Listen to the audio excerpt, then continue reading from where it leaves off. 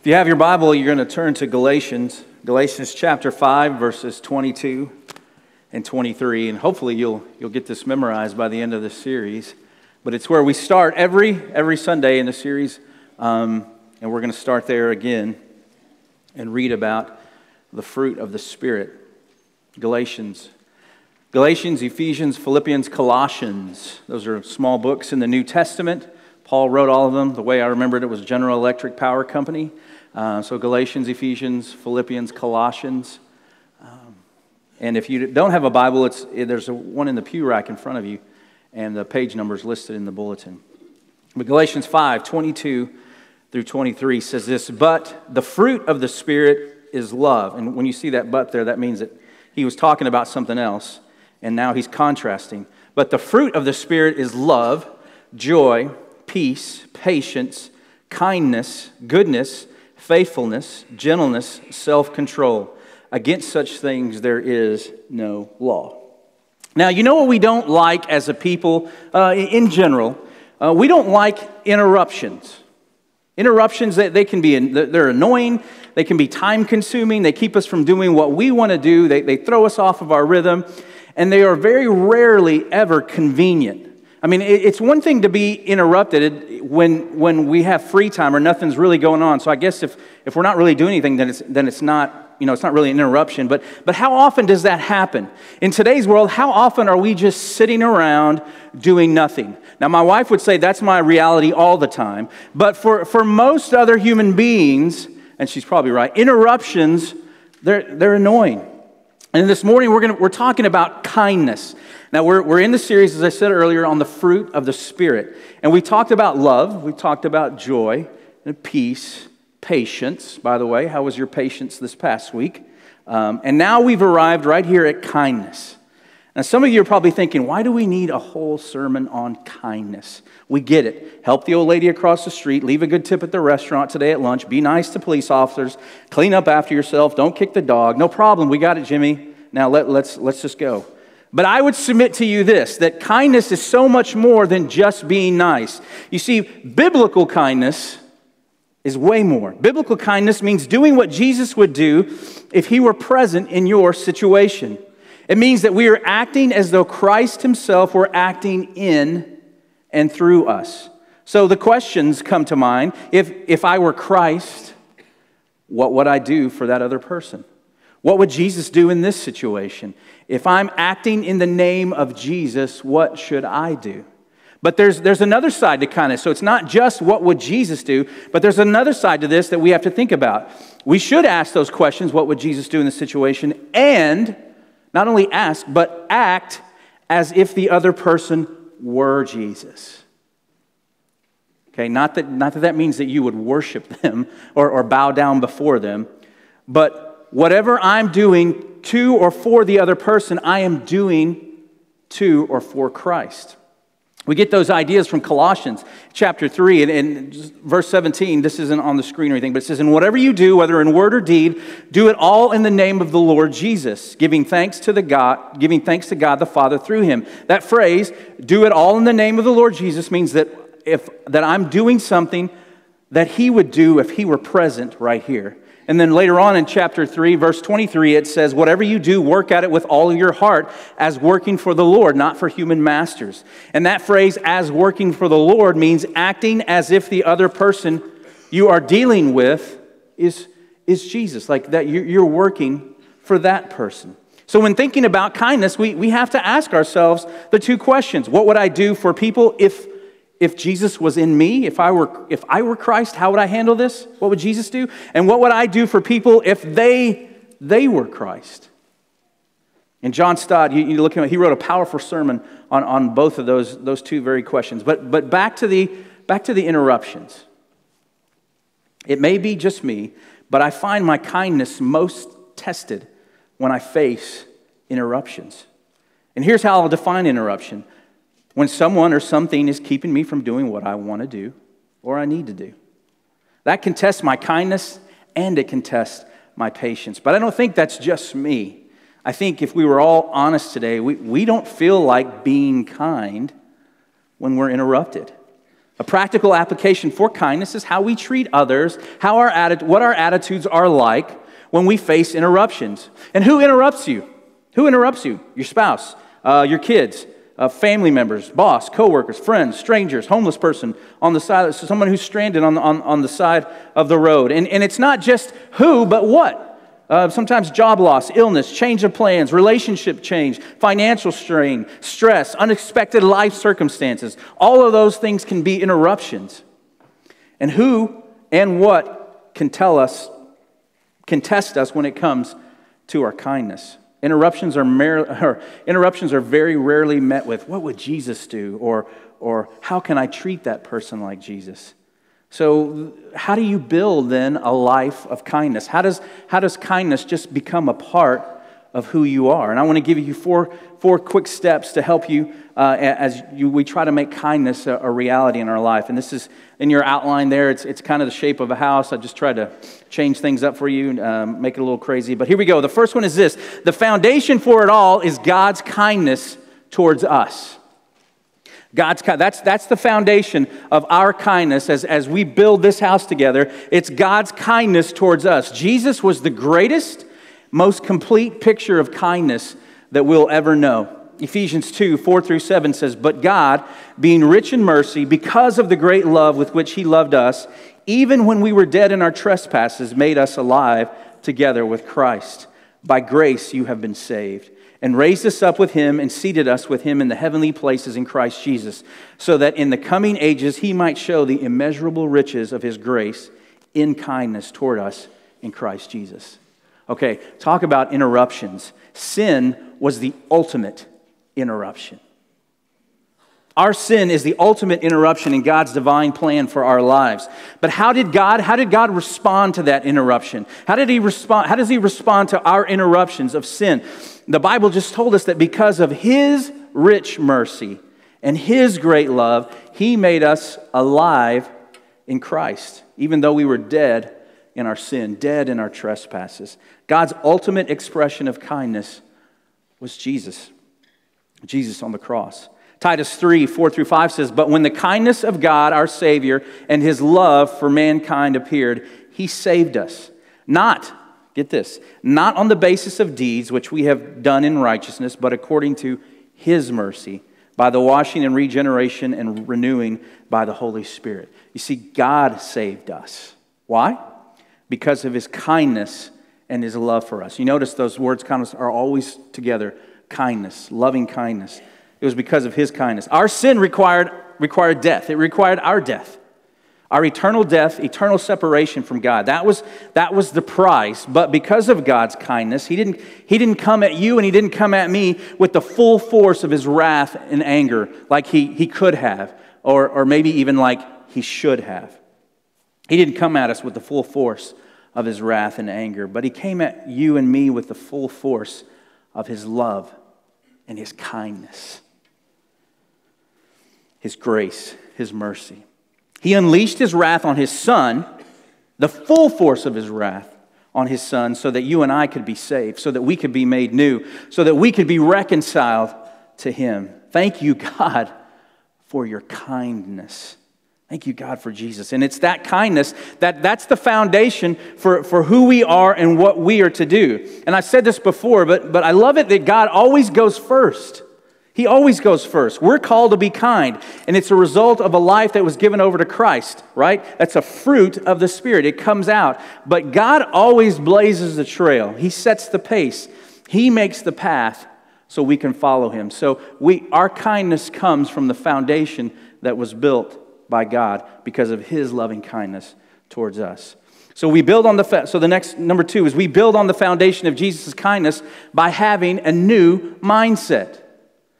Okay, that's one of the walls there that we're building on. We have a new mindset. Now, I want to show you a, a quick video clip.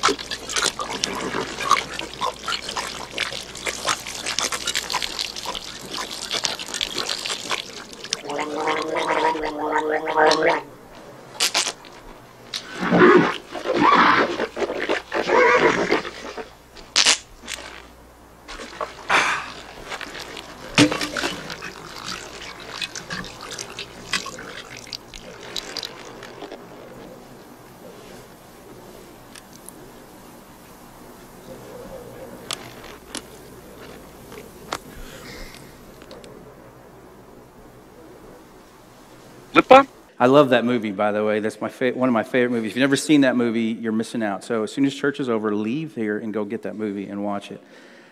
Uh, that scene's hilarious because he is completely oblivious to the two other amigos, his buddies. They're in the middle of the desert with nothing to drink, and he just showers himself with water, and then he offers them chapstick, lip balm.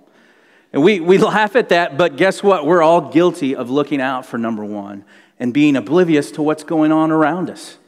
Actually, maybe instead of, of oblivious, that maybe a more appropriate word is, is we're maybe ignoring all the things that are going on around us. And why would we ignore, why would we ignore others? Because of it's an interruption. That's why. It's an interruption. If we, if we look up, then we may realize that, that something needs to be done. Someone, someone may need us. Something might be required of us. So it's better to act like that you don't notice what's going on. We would rather just look after ourselves. It's easier that way. Besides, we've, you've got, I've got, we've all got important things going on in our lives. You know, who has time for kindness, especially kindness that's going to interrupt what we've got going on? But that's the exact opposite of what biblical kindness is. We have to look at our world very differently. 2 Corinthians 8 9 says, You know the generous grace of our Lord Jesus Christ. Though he was rich, yet for your sakes he became poor, so that by his poverty he could make you rich.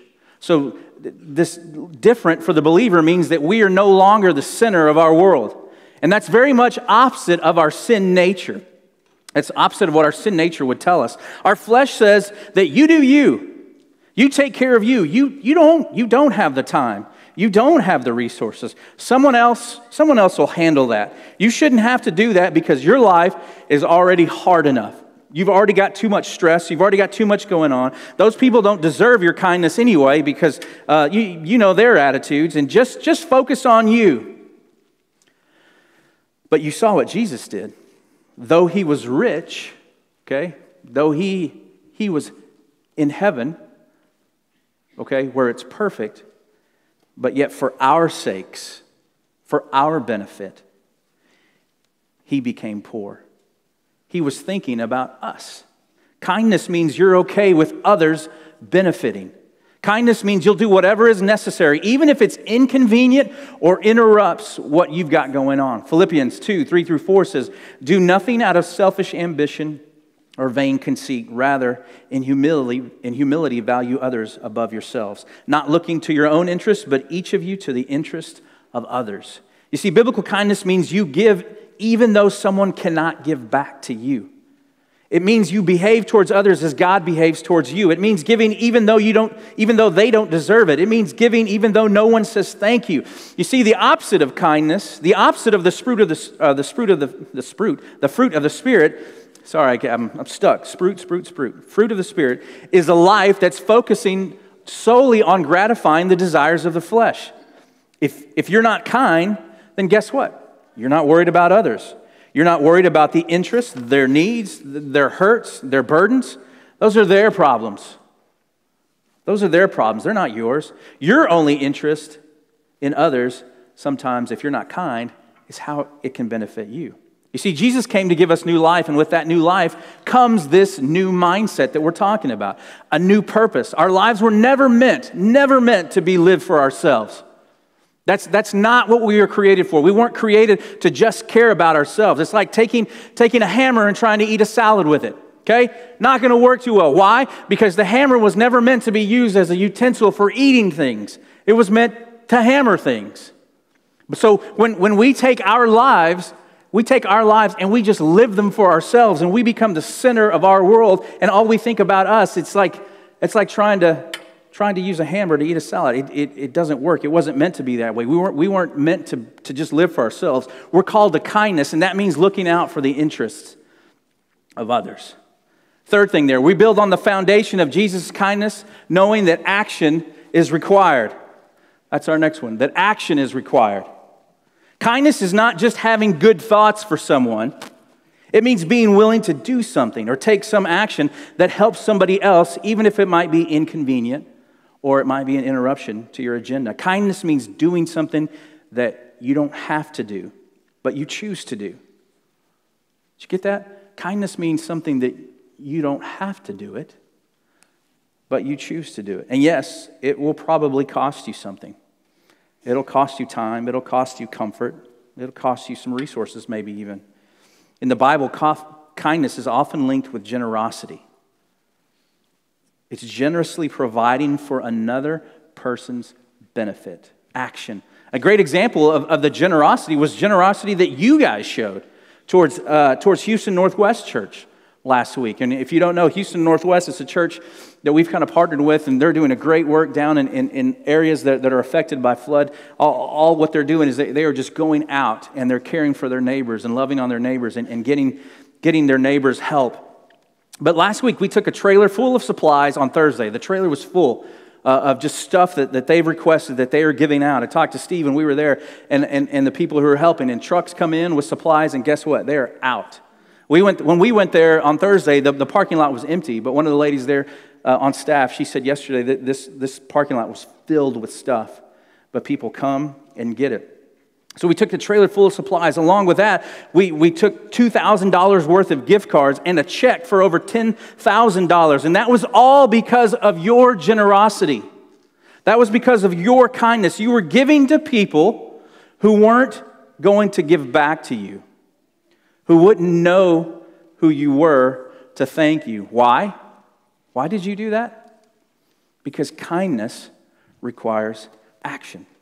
Ephesians 4 31 and 32 says, Get rid of all bitterness, rage, anger, harsh words, and slander, as well as all types of evil behavior. Instead, instead, be kind to each other, tenderhearted, forgiving one another, just as God through Christ has forgiven you. Kindness requires that action. And before we get to kindness, there are things that we have to get rid of.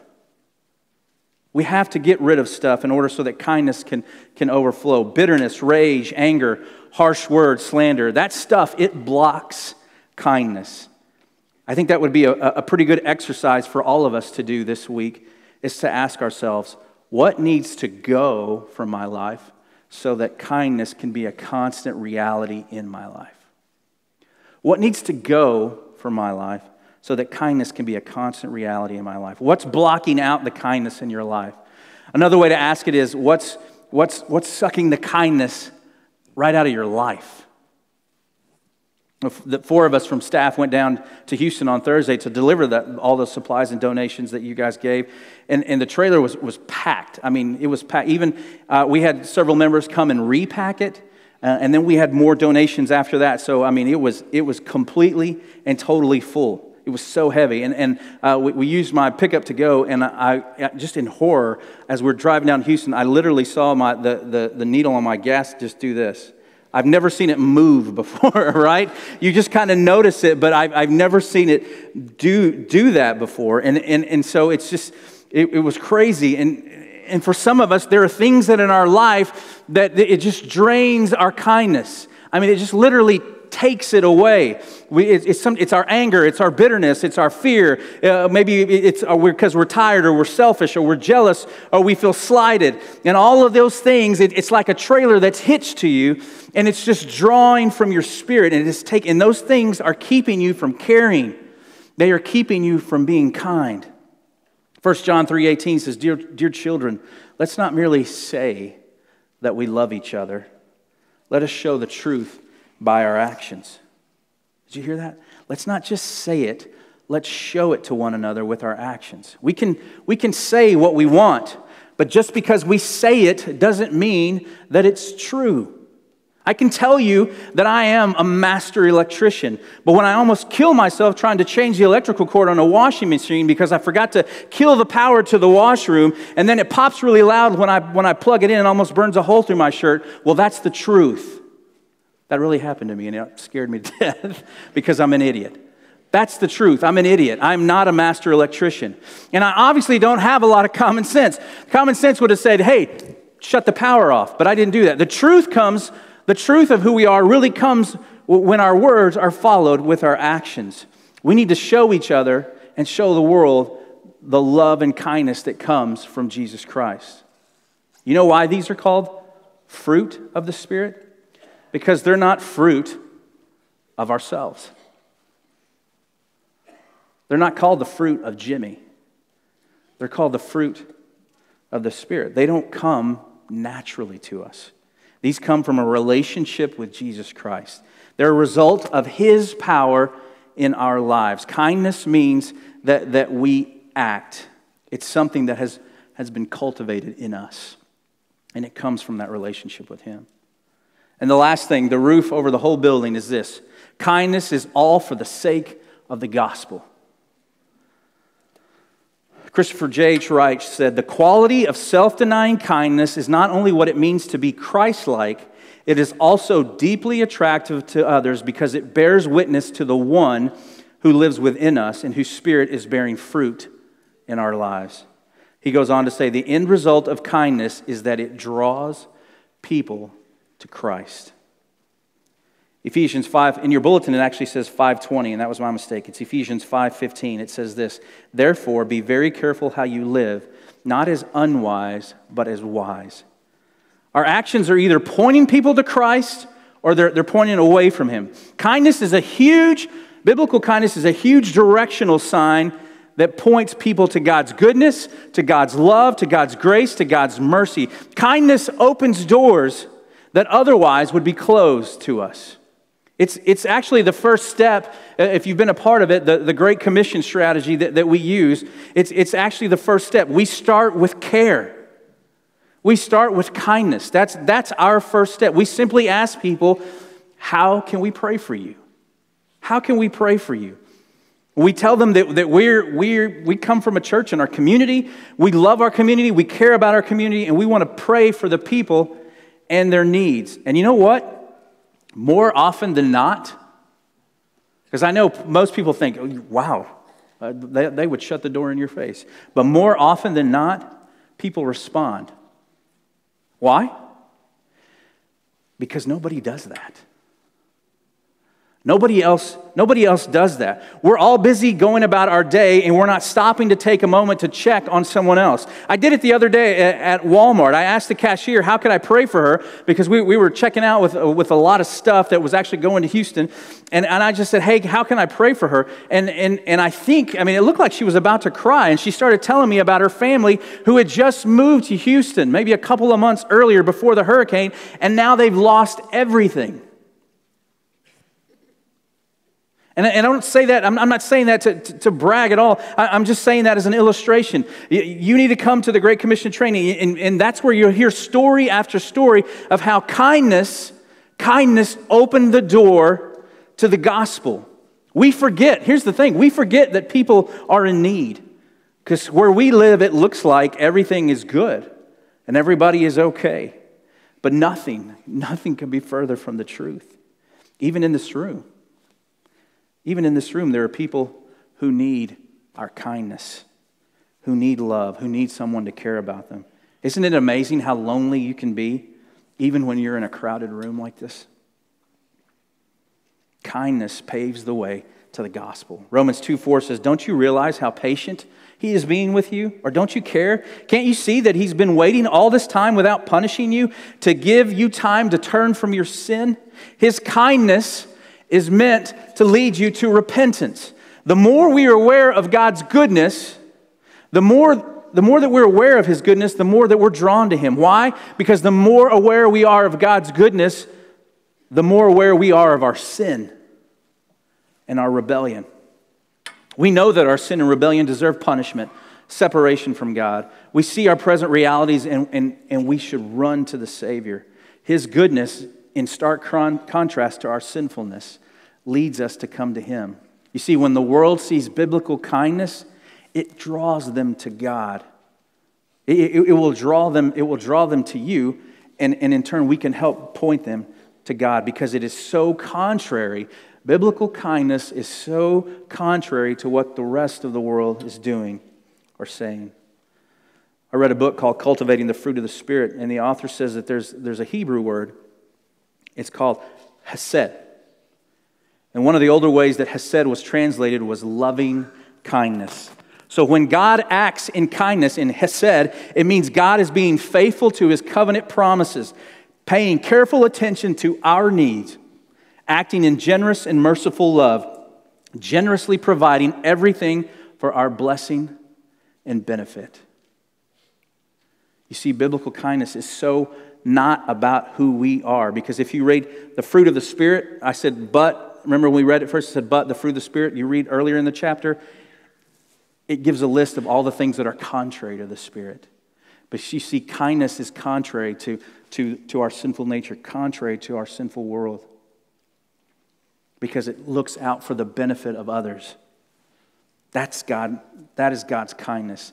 It's a kindness that we should show to the world. And it can only come from God's Spirit living in us. It's fruit of the Spirit, not the fruit of me and you. And how do you build that life of kindness? It's right there in front of you. You build on the foundation of Jesus, remembering that it's His kindness. He went first. Asking Him to remind us that, that of, of His kindness towards us, helping us to have a new mindset that leads to action, and understanding that we want to point people to God? Are you kind? Let me ask it a different way. Is there biblical kindness in you?